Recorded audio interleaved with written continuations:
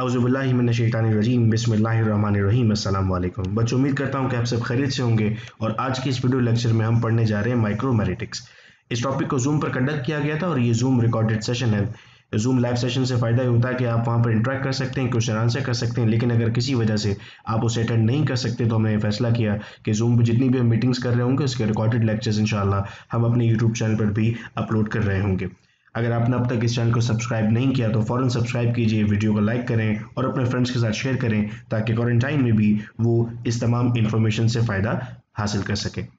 बच्चों, पहले क्वेश्चन से हम स्टार्ट करते हैं व्हाट इज़ माइक्रोमैरिटिक्स हम कहते हैं the term micromeritics was given to the science and technology of small particles छोटे ज़रात की जो साइंस थी, उसे हम नाम देते हैं माइक्रोमेरिटिक्स का। और जो साइंटिस्ट थे that was G dot M dot Dallavalle जिन्होंने अपनी किताब माइक्रोमेरिटिक्स में इस बात को एक्सप्लेन किया था। क्या फ़ायदे हैं माइक्रोमेटिक्स के? क्या सिग्निफिकेंस है? मुख्तलिफ़ फील्ड्स में आइए एक एक करके हम पढ़ते हैं।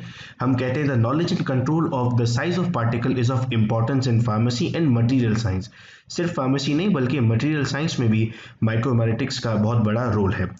The size and hence the surface area of particle can be related to the physical chemical and pharmacological properties of the drug ये बहुत ज़रूरी है हमें जानना कि उस पार्टिकल का साइज़ कितना है, उसका सरफेस एरिया कितना है, चूँकि इससे रिलेट करेगी उसकी फ़िज़िकल प्रॉपर्टीज़ जिसमें आप कह सकते हैं उसकी सॉलिबिलिटी आ सकती है, उसकी केमिकल प्रॉपर्टी जिसमें आप कह सकते हैं उसके कोई केमिकल रिएक्शन होंगे, और अल्टीमेटली उसकी फार्माकोलॉजिकल प्रॉपर्टी चूँकि ड्रग को आपकी बॉडी में डिजोल्व होने के बाद रिसेप्टर्स के साथ अटैच भी होना है। क्लिनिकली बेटे हम कहते हैं कि पार्टिकल साइज़ इंपॉर्टेंट है बिकॉज़ ड्रग को रिलीज़ होना है, अपने डोजेज फॉर्म में से चाहे आपने ड्रग ओरली दी है पेरेंटल दी है रेक्टली दी है टॉपिकली दी है ड्रग रिलीज़ हो रही होगी अपने पर्टिकुलर डोजेज फॉर्म में से। The successful formulation of suspension emulsion and tablets both physical stability in pharmacological response also depends upon the particle size चाहे आप फार्मोकोलॉजी की बात करें, चाहे फ़िज़िकल स्टेबिलिटी की बात करें, इन दोनों के लिए इंपॉर्टेंट होगा कि उसका पार्टिकल साइज़ कितना है। अब बच्चों ये जानते हैं कि इसका ओरिजिन हिस्ट्री क्या है माइक्रोमेटिक्स किस तरह हम तक पहुँचा। पहली मरतबा, जैसे हमने कहा कि ये टर्म इस्तेमाल की गई J dot M dot Dallavalle ने अपनी किताब माइक्रोमेटिक्स में, और किताब का स्क्रीनशॉट मैंने आपको दिखाया है। इस तरह की बेशुमार किताबें हमारी वेबसाइट पर अपलोडेड है। वेबसाइट इस वक्त आप स्क्रीन पर देख भी सक रहे हैं doctor Saqib Qureshi dot dot com slash website the term is Greek word जिसका मतलब है स्मॉल एंड पार्ट तो छोटे जरात के बारे में जो बात हम पढ़ रहे थे, उन्हें हमने नाम दिया था माइक्रो मैरिटिक्स का। The size range which he covered in the book was from ten minus one से लेकर टेन फाइव माइक्रोमीटर्स तक। इससे अगर कोई चीज़ स्मॉलर है तो उसे नाम दिया गया था कोलाइट का, लेकिन अब हम उसे नाम दे रहे हैं नैनो पार्टिकल्स का। हम इसे सॉइल फिजिक्स में मिनरल फिजिक्स में केमिकल इंजीनियरिंग में जियोलॉजी में और हाइड्रोलॉजी में भी इस्तेमाल कर रहे होते हैं। बच्चों, अगर आपको लगता है कि ये चीज़ें सिर्फ़ फार्मेसी में पढ़ी जा रही होती हैं तो ये हम गलती पर हैं। इसके अलावा आप देख रहे हैं कि किन किन डोमेन्स में इन तमाम चीज़ों को पढ़ा जा रहा होता है। स्टूडेंट्स मैं अगर इसकी एप्लीकेशन आपसे पूछता हूँ तो उसका रिस्पॉन्स होगा कि सर, ये रिलीज़ और डिजोल्यूशन में काम आता है एब्जॉर्प्शन और ड्रग इंट्रैक्शन में काम आता है फ़िज़िकल स्टेबिलिटी में और डोज यूनिफॉर्मिटी आइए एक एक करके इन सबको पढ़ने की कोशिश करते हैं। रिलीज़ और डिजोल्यूशन में क्या रोल होगा इसका? पार्टिकल साइज़ और सरफेस एरिया हम पहले पढ़ चुके ये दोनों रिलेट करेंगे, चाहे वो ड्रग किसी भी फॉर्म में आपको दी जा रही हो रेक्टली दी जा रही हो पेरेंटली दी जा रही हो टॉपिकली दी जा रही हो या फिर ओरली दी जा रही हो। देखिएगा बच्चों higher the surface area brings about intimate contact of the drug with the dissolution fluid in vivo and increase the drug solubility and dissolution जितना ज़्यादा सरफेस एरिया होगा, उतना ड्रग का डिजोल्यूशन ज़्यादा होगा। जितना कम सरफेस एरिया होगा, उतना ड्रग का डिजोल्यूशन कम होगा।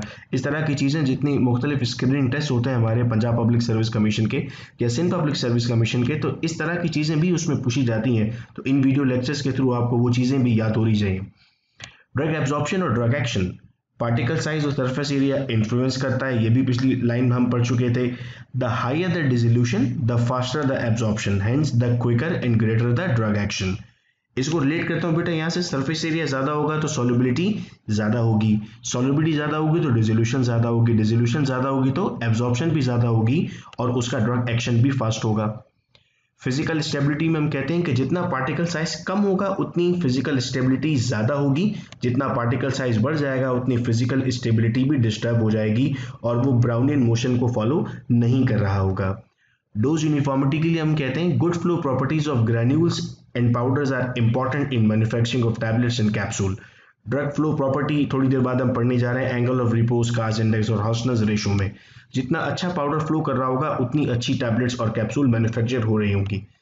The distribution of particle should be uniform in terms of number and weight Very small particle size cause attraction, which in turns destabilize the suspension by coagulation. अगर जो आपके पास particle size given था, उससे कम होना शुरू हो जाता है तो उसमें coagulation start हो जाती है। बेटे हम किताबों को भी बीच में पढ़ रहे होते हैं। इस वक्त हमारे सामने किताब से एक स्क्रीनशॉट है, जो आपको एक ड्रग की लाइफ टाइम बता रहा है कि सबसे पहले ड्रग आपके पास सिंथेसाइज होगी। फिर आप उसे फॉर्मुलेट करेंगे मेडिसिन में, फिर उसे आप प्रोडक्ट बनाएँगे, फिर आप उसे एडमिनिस्टर करेंगे, वो आपकी बॉडी में रहेगी और फिर वो आपकी बॉडी से एक्सक्रीट आउट हो जाएगी या रिमूव हो जाएगी। इस वक्त एनसेल बेटे हमारे सामने ओपन और एनसेल से हम पढ़ने की कोशिश करते हैं माइक्रोमेरिटिक्स को। Micromeritics is the science of small particles a particle is any unit of matter having defined physical dimension a particle किसी भी एक पर्टिकुलर मैटर के यूनिट को कह सकते हो और मैटर हमें मालूम है हर वो चीज़ जो जगह घेरती है और वज़न रखती है, उसे हम मैटर कहते हैं। It is important to study particles because most of the dosage forms are solids and solids are not static systems The physical state of particles can be altered by physical manipulation and particle characteristics can alter the therapeutic effect.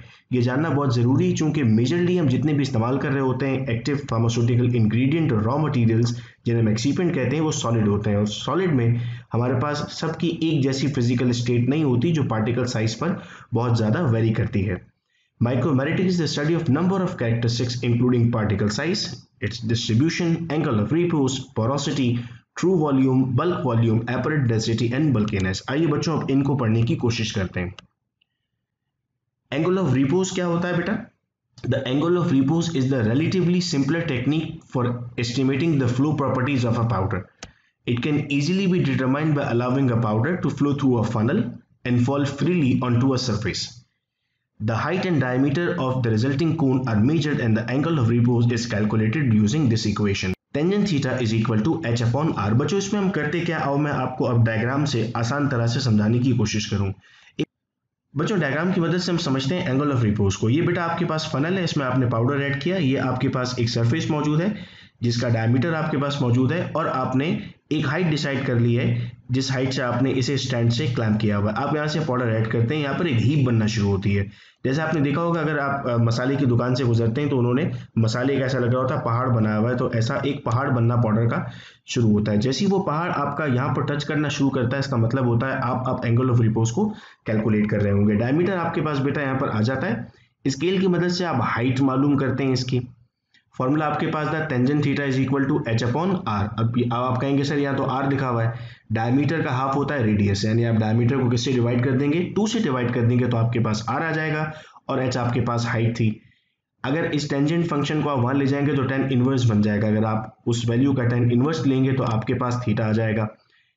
अब आपके पास flow property से फ़ायदा क्या होगा angle of repose से? ये आपके पास यूएसपी के रेंजेस गिवन है। अगर आपके पास एंगल ऑफ़ रिपोज इस रेंज में आएगा 25 से 30 तो आप कहेंगे इट्स एक्सीलेंट पाउडर अगर 31 से 35 में आएगा तो आप कहेंगे गुड 36 से 40 आएगा तो आप कहेंगे इट्स फेयर 41 से 45 पर आप कहेंगे पॉसिबल और 46 के बाद आप देख रहे हैं लिखा हुआ poor very poor very very poor यानी अगर इतना आपके पास एंगल ऑफ़ रिपोज आ रहा होगा तो वो आपके पास अच्छी कॉम्पैक्शन टैबलेट में या कैप्सूल में अच्छी मैन्युफैक्चरिंग नहीं कर सकता। एक न्यूमेरिकल बेटा अब हम सॉल्व करते हैं इसका। हम कहते हैं कि पाउडर को पोर किया गया फनल से और कोन की हाइट थी 3.3 सेंटीमीटर और डायमीटर था 9 centimetre angle of repose calculate करना था। ये आपके पास एच आ गया 3.3 और ये डायमीटर है। हमें तो रेडियस चाहिए था। Half of the diameter is radius यानी नाइन का हाफ़ कितना होगा? 4.5 तो जब आप इसे कैलकुलेटर में सॉल्व करते हैं तो आपके पास आंसर आता है 0.73 और जब आप उसका टेंजेंट इनवर्स लेते हैं तो आपके पास आंसर आता है 36.25 अगर यहाँ जाते हैं हम तो इसे हम इस एरिया में देख रहे हैं कि जो पाउडर था, वो फेयर है। कोई एड हमें इसमें ज़रूरत नहीं होगी कोई चीज़ ऐड करने की, आप इसको आगे बढ़ा सकते हैं। नेक्स्ट बेटे हमारे पास टॉपिक है बल्क डेंसिटी बल्क डेंसिटी को हम डिफाइन करते हैं। इसे हम एपरेंट डेंसिटी या वॉल्यूमेट्रिक डेंसिटी भी कह रहे होते हैं। जब आप किसी भी फ्लास्क में किसी पाउडर को ऐड करते हैं, बगैर टैप किए तो जो भी उसका वॉल्यूम आ रहा होता है, उससे जब आप उसकी डेंसिटी कैलकुलेट करते हैं तो वो कहलाती है आपके पास बल्क डेंसिटी याद रहे कि जैसे ही आप पाउडर ऐड करते हैं तो उसमें कुछ वाइड स्पेसिस भी बनते हैं, जिसकी वजह से वो पाउडर फ्लफी होता हुआ आपको नज़र आ रहा होता है। और जब आप उसे टैप करते हैं 50 टाइम्स टैप करने के बाद उसके जो बीच में स्पेसिस थे या वॉइड थे, वो ख़त्म होना शुरू हो जाते हैं। और अब जब आप डेंसिटी कैलकुलेट करते हैं तो उसे हम नाम देते हैं टैप डेंसिटी याद रहे डेंसिटी का फॉर्मूला सेम है मास अपॉन वॉल्यूम यहाँ पर आपके पास मास आ रहा होगा और वॉल्यूम कौन सा होगा जो बल्क में आपके पास था विदाउट टैपिंग जो ज़्यादा होगा। और जब आप टैप डेंसिटी में आते हैं तो आपके पास मास उतना ही रहता है मास तब्दील नहीं होता, लेकिन वॉल्यूम तब्दील हो जाता है आपके पास। अब डेंसिटी जब आप कैलकुलेट करते हैं तो बल्क डेंसिटी और टैप डेंसिटी दोनों आपके पास मुख्तलिफ़ आती हैं। इसी से बच्चों हम समझने जाते हैं कार्स इंडेक्स को। कार्स इंडेक्स को हम कार्स कंप्रेसिबिलिटी इंडेक्स भी कहते हैं। इसमें बेसिकली हम टाइप डेंसिटी और बल्क डेंसिटी की मदद से ये कैलकुलेट कर रहे होते हैं। कार वॉज़ अ साइंटिस्ट जिसके नाम पर हमने कार्स इंडेक्स कहा। Tap density minus bulk density divided by tap density यानी आपके पास जो भी डेटा गिवन होगा आपको आपको उसकी टाइप डेंसिटी और बल्क डेंसिटी मालूम करनी होगी। इस फॉर्मूला में जब आप पुट करेंगे, जो भी आंसर आपके पास आएगा, आप उसे 100 से मल्टीप्लाई करेंगे बिकॉज़ कास्ट इंडेक्स आपके पास परसेंटेज में आ रहा होता है। सेकंड हमारे पास बेटा पैरामीटर है हॉस्टनेस रेशो हॉस्टनेस रेशो में हम दो चूँकि नाम से आपको यहाँ समझ में आ रहा है रेशो जिसमें दो वैल्यूज़ को सिर्फ़ डिवाइड किया जा रहा होगा परसेंटेज नहीं होगी, और हॉस्टनर हमने अगेन साइंटिस्ट के नाम पर रखा हेनरी हॉस्टनर ने पहली मरतबा मेथड हमें बताया था दैट इज़ वाई हमने इसे हॉस्टनस रेशो कहा। फॉर्मूला है आपके पास हॉस्टनस रेशो का tap density divided by the bulk density आपको सिर्फ़ दोनों डेंसिटीज को डिवाइड करना होगा। यहाँ पर आप देख सक रहे हैं कि कंपेसिबिलिटी इंडेक्स और हॉस्टनस रेशो के साथ भी आपका फ्लो अटैच हुआ हुआ है। अगर आपके पास टेन से कम है कंपेसिबिलिटी इंडेक्स तो आप कहेंगे एक्सलेंट फ्लो है। अगर हॉस्टनेस रेशियो वन से 1.11 तक है तो वो एक्सीलेंट है। इस तरह जब आप आगे बढ़ते जाते हैं तो आपके पास रेंज आ जाती है पुअर वेरी पुअर और वेरी वेरी पुअर की। यानी वो पाउडर्स जो आपके पास एक्सीलेंट गुड फेयर और पॉसिबल है, उनको आप इस्तेमाल कर रहे होते हैं अपनी मैन्युफैक्चरिंग में, और जिनकी वैल्यूज़ ये मिलती हैं आपको, आप उन्हें इस्तेमाल नहीं करते हैं मैन्युफैक्चरिंग में। अगर हम समराइज करते हैं तो बल्क डेंसिटी के लिए देखिए फॉर्मूला क्या लिखा हुआ है? Mass upon bulk volume tap के लिए लिखा हुआ है मास अपॉन टैप्ड वॉल्यूम अगर आपने से वीबी और आपने से वीटी का है तो आपके पास फॉर्मूला आ गया वी टी अपॉन वीबी या आपके पास formula V T minus V B upon V T multiply by hundred ये वो सेम फॉर्मूलाज हैं जो थोड़ी देर पहले हमने यहाँ पर पढ़े थे कि टाइप डेंसिटी को हम डिवाइड करेंगे बल्क डेंसिटी से, और यहाँ पर भी हम देख रहे हैं कि टाइप डेंसिटी डिवाइड हुई भी है बल्क डेंसिटी से. बच्चों नेक्स्ट टॉपिक जो हम डिस्कस करेंगे वो एंगल ऑफ़ रिपोज कास्ट इंडेक्स और हॉसनेस रेशियो के न्यूमेरिकल जब हम सॉल्व करेंगे, आप इसकी भरपूर तैयारी करके रखें। नेक्स्ट वीडियो में इसके न्यूमेरिकल्स मैं आपके साथ शेयर करूँगा और फिर उसकी एक्सप्लेनेशन को भी हम सॉल्व कर रहे होंगे, उम्मीद करता हूँ कि तमाम चीज़ें आपको समझ में आई हैं। बहुत शुक्रिया इस वीडियो लेक्चर को सुनने का। अपना बहुत ख्याल रखिएगा। अल्लाह हाफिज़।